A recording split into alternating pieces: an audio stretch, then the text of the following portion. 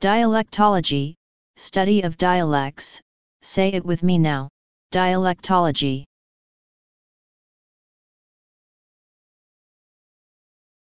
Please subscribe and thanks for watching.